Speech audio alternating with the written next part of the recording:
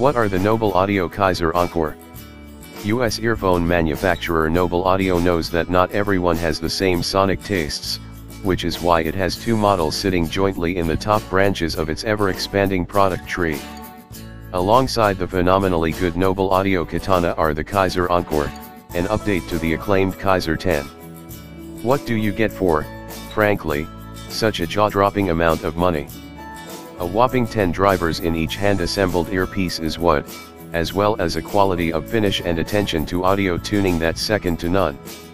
Where the Katana focus on an airy treble and upper mid-range that make them sound closer to a pair of open-backed hi-fi headphones than any other IEMs I've heard, the Kaiser Encore promise meteor sonics for those who value a solid, thumping bottom end.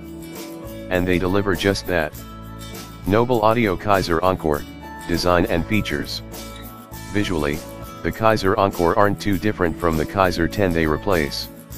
You get the same two-part aluminium enclosures with a ribbed outside, but the outer half is now a bluish gray and has sunburst-style machining on the end surface, where the 10s had a look-at-me red anodized outer with cross-hatching.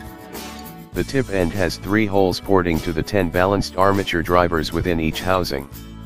On the side of each earpiece is a tiny socket for the two pin plugs terminating the braided cable.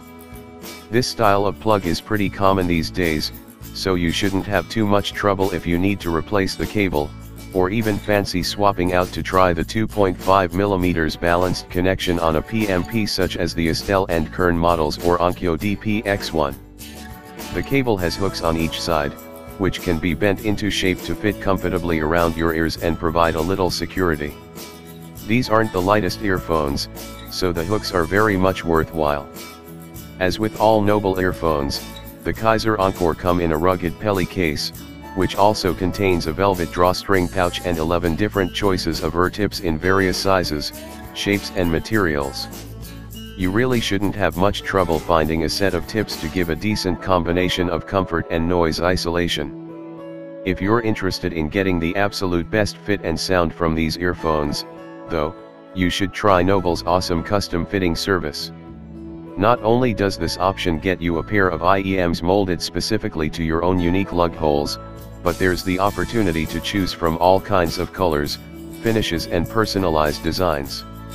It comes at a price, but when you're already spending this much, why not go that extra mile, at Noble Audio Kaiser Encore, Sound Quality.